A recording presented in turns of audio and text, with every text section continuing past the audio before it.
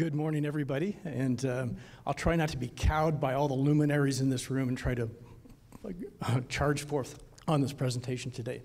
Uh, my presentation is uh, going to be in this theme of technology that will blow your mind, and not so much about Health Navigator, but perhaps about some of the companies with whom we work, because I want to highlight some of the great work that they're doing.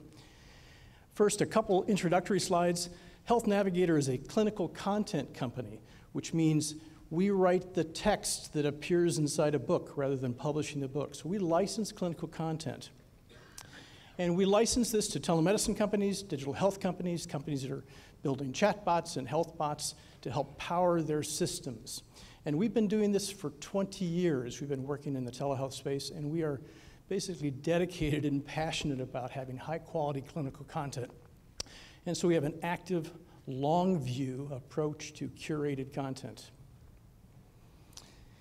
Um, earlier today, we heard about how this needs to affect me versus not me. And so, for the perspectives of the people in the audience here today, um, from a me standpoint, if you've got a patient perspective, um, our conversation today is about triage and how we provide tools for that, diagnosis, what are the possible causes of my symptoms today, care advice, what is evidence based relevant care.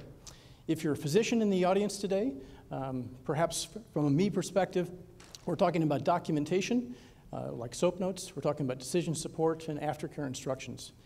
If you're a developer or an IT person, we are going to be presenting content that's hosted on Microsoft Azure. It's delivered as an application programming inter interface on a RESTful web service. And we use Microsoft SQL to store our data. It's encrypted, state, stateless, and no PHI. And lastly, for those of you that are into machine learning and artificial intelligence, uh, we do do natural language processing, which we'll demonstrate today. We have a clinical vocabulary. We use decision trees and explainable AI. And basically, what we have is a knowledge graph, this relational database of content. Staying on the topic of AI tools and clinical vocabulary, um, I couldn't find the right quote, so I made one up. And, and so it says To be effective, artificial intelligence systems require an ontologic model a clinical vocabulary to describe, relate, and communicate clinical concepts. And as we hear speakers talk this today and uh, tomorrow, you see this concept of uh, trying to communicate with the patient and use artificial intelligence. But unless there's a standardized vocabulary for what we do, the beginning, the middle, and the end of the, the conversation that replicates what a doctor can do or a good nurse can do, uh, we're not going to be successful. So even if you take a single word, just a single clinical concept like diarrhea, there is data behind that word that we need to actually use in any sort of artificial intelligence system. And so there's, of course, there's a question, and even how you ask the question. You can ask it from a pronoun standpoint in terms of second person or third person. There are synonyms for that. There's translation into different languages. There's medical coding of that particular term diarrhea in terms of SNOMED or ICD 10. And then there's other metadata that we should be storing to allow us to do re reporting, analytics, and workflow as well. So Microsoft, um, and this is a, a, silent video, so if we can kick it on. Um, this is a, Microsoft is actually one of our partners, and uh, Microsoft uh, has built a health bot. If you do a search on the web for Microsoft and Health Navigator, you'll see, you can see it. And so you can type in words like, I am pooping a lot, and I have some tummy pain, and hopefully it recognizes it correctly. But what it does is it actually uses our natural language processing engine and converts the universe of patient utterances or physician speech or nurse speech into one of 480 uh, different uh, possible chief complaints. So we're converting text to data to use for artificial intelligence. Let's stay on the topic of clinical vocabulary MD Live is one of the um, successful and innovative companies for uh, telemedicine in the United States, led by Rich Berner and Lyle Berkowitz, or Dr. Berkowitz. And they use our clinical vocabulary. And so it's important to talk about data. And so this is actually a study that we just looked at of 454,000 patient visits over the last uh, 12 months just through telemedicine. So these are telemedicine counters that MD Live has performed. And so we asked a simple question What's the beginning of the medical encounter? What's the chief complaint? Why do people use telehealth services? And that's actually significantly different than the question at the end where you're asking what the diagnosis was. And so we looked and created histograms of, of the top 25 reasons for uh, pediatric patients or adult patients. And then we actually looked at that from a cumulative standpoint. Staying, on, staying with MD Live for just a moment. Um, this is an interesting study that we did with MD Live where we asked the question how accurate is the diagnosis engine that um, Health Navigator uh, provides to MD Live and other partners? And what we found was is that 95% of the time, based solely on the physician's documentation of the chief complaint and the subjective area of the chart, we could pr- accurately predict the correct diagnosis that the doctor used. Now, this is based on a fairly small sample size of 12,000 patients, which is pretty good actually, over the last eight months. Hot off the press as of August. We're going to shift continents here to another partner. And if you were ATA this past year, uh, you might have met uh, Dr. Davis Muzunguzi and Dr. John Mark Bonica. They're both from Uganda. And they have a long-standing health, healthcare organization that they deliver healthcare to, but they're using technology to improve the care that they deliver. And the type of technology they're using is actually leveraging health information content from Health Navigator, and they've built an application called Mirembe, which means in the language peace of mind, which is lovely. And they're delivering this technology actually through Facebook Messenger. So this is a Facebook Messenger app that you see on the left-hand side there.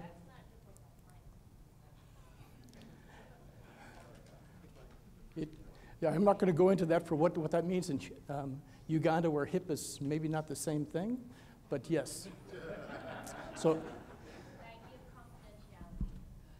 yes, confidentiality is important, and I don't have a direct answer for you there today. Uh, the HIPAA regulations are U.S. regulations, and so how they want to approach that, I think, is their choice at this point. In any case, so as we move through this, they've got a health bot that they've created, which is accessible to the population there. They ask questions about that patient. And at the end of that encounter, what they do is they actually allow the patient to talk with a doctor as part of this process and deliver health information as well. And then what they do is they take that information, that data that which was accumulated along that HealthBot path, pass it into the doctor's SOAP note, pre-populate the note to save the doctor time and improve quality. And they also pass it into a diagnosis engine as well to suggest to the doctor possible top causes for the symptoms. Um, we heard earlier today about TytoCare. TytoCare is a partner of Health Navigator as well, and um, they're doing some innovative things um, in the United States um, at the present time. and what they've got is a set of devices which a patient can use in the home or you can use as part of a telemedicine experience. But how does a patient know which device to use? So if a patient says that my ear is hurting a lot or my, I've got left earache, how does it know to tell you then to use the right device? And so they've actually built into their system an NLP technology using our content which then can prompt the patient to select the correct de- device through the knowledge mapping that we've done. They then capture the information from the patient, they capture the information from the device, pass both the subjective information and the exam information to the doctor, the telemedicine doctor, for later use. A remarkable and an innovative path.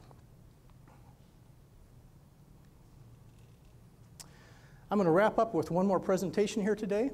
And uh, this one here is from um, some development partners of ours called Macadamian. They're actually based out of Canada. So this is a proof of concept they built using um, um, Alexa technology to build a skill.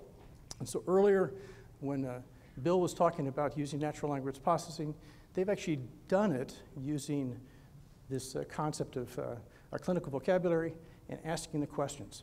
I will tell you that everything that you're seeing is actually automated at least on the Alexa side. So let's watch this. And this is with audio. Alexa, open Health Navigator. Hello, Peggy.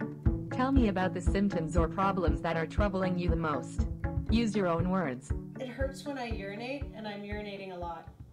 Let's first talk about the urination pain. How much does it hurt? Tell me on a scale of 0 to 10. 5.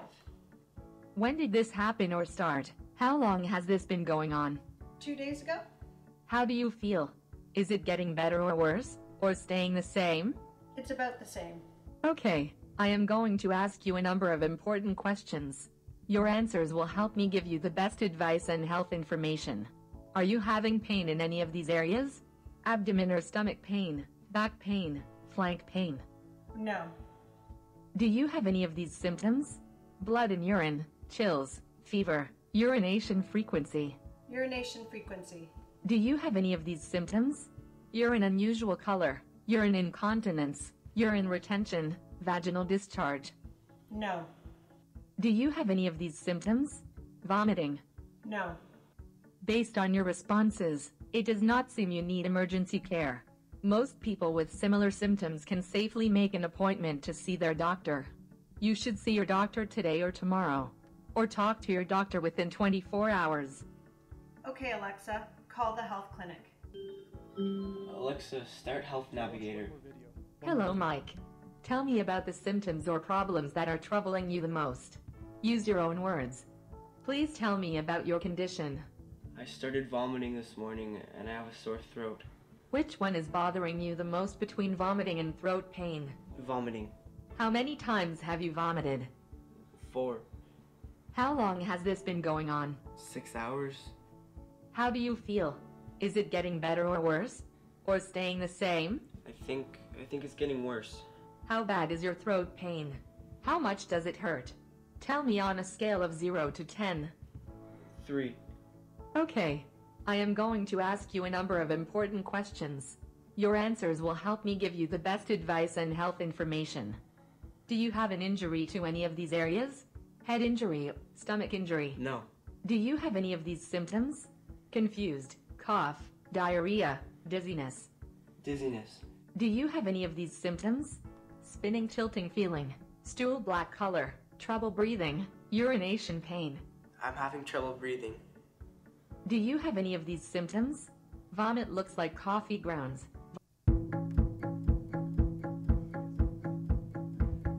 Alexa, open.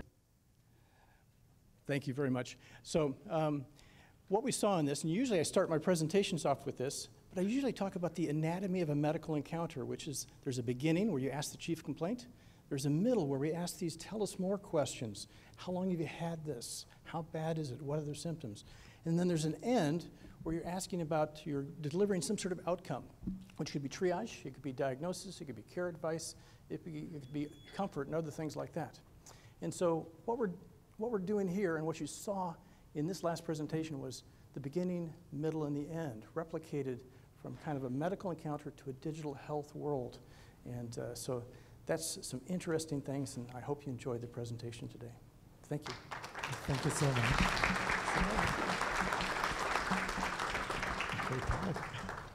So,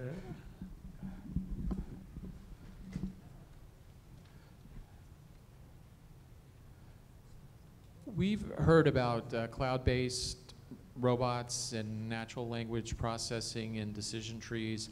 So you're, we're, we're seeing a landscape in the home that is full of an internet of devices. And so whether it's speaking to Alexa or whether it's biometric devices that are communicating to the network, whether it's the robots that are collecting data out there on the edge, there are a lot of devices collecting a lot of data through different systems. What's the platform the technology that's going to really connect all these things so that they can work together, which is going to be crucial for a comprehensive approach to care and also generating the data that's going to be necessary for this to be a successful approach. Well, that was a, uh, that's a great question and a complex question as well, so thank you. Uh, maybe over lunch we'll really get into that. The, um, you know, there's a, there's a, one of the challenges that we face in the United States, in fact, in the world, is that all healthcare is local. And so we have, uh, you've got companies like Epic, which now is uh, providing probably 50% of the electronic health records in the United States. So that's a move towards that sort of thing. But having said that, there's more fragmentation and disconnects than there are actually connects to this information. So I'm not certain if I have a perfect solution towards that. Um, I think that moving towards standardized vocabularies is an important thing. I think that moving towards standardized ways of moving data from point to point, whether it's FHIR or other systems like that, is part of the solution as well. Thank you. Hi, I have a question. Um, I have a horrible accent, and so my own Siri doesn't get me 90% of the time. Um, what happens with people with dialects and accents and you know different languages on a system like this? That's a great question. So um, it's important to separate, uh, when it comes to uh, voice, uh, there's a, important to separate voice to text versus text to data. And so you've got voice to text agents like Siri or uh, Alexa or the Google Home, that sort of thing. We don't do that. Um, but instead, what we do instead is that we do text to data. So if you give us text, we then convert it into chief complaints or other sorts of meaningful information to use as part of that. So we don't actually face that part, but I know that our voice partners certainly do. Good question. Thank you. Uh, hi, uh, thanks for the presentation. You know, with all, with all due respect, I feel like those Alexa questions seem somewhat set up, and you know, from a clinical perspective as a physician, I can already imagine how uh, uh they could easily make a misdiagnosis or spend a lot of time uh, trying to figure something out that can be e easily answered by a physician uh, by answering by asking less questions. Um, you know, I I find it very difficult that something like this could distinguish between someone who has symptoms consistent with a bronchitis, but they actually have a PE, for example.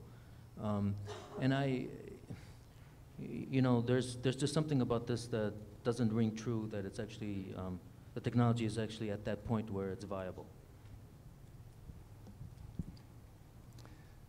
Thank you for the question.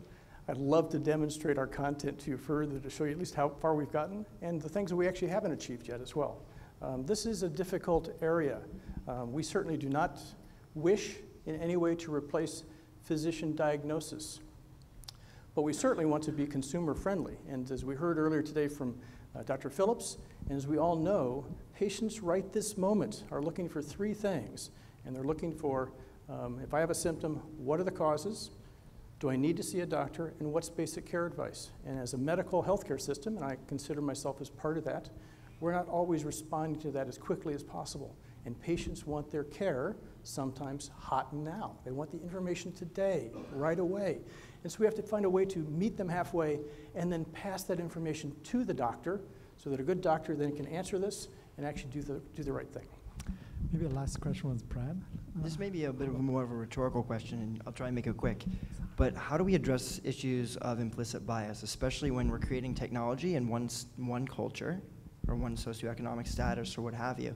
It's something that we're having even a hard time addressing with our trainees, our residents, our students, even our fellow faculty members, in ensuring that we're addressing implicit bias in care. And thinking about the whole AI world, I, I'm just looking for a sense of how that gets done. And I'm, I'm sorry, I didn't quite get the question at the beginning. Think about implicit bias.